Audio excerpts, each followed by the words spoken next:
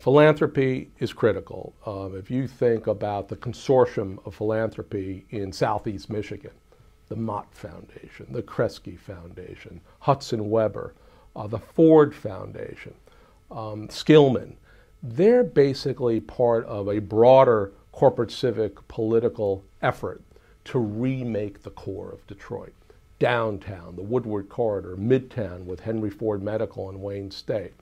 You know, there's a lot of talk about Detroit's fall. What I see is a rising Detroit, a very active and vibrant Detroit, with philanthropy really setting the table, making smart, initial, almost venture investments that can then leverage up public and private sector capital.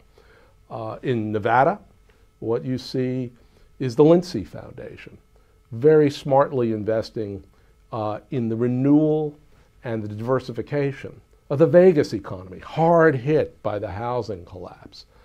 And we can go place by place Cleveland, Milwaukee, Chicago, New York. Philanthropy is the, the glue.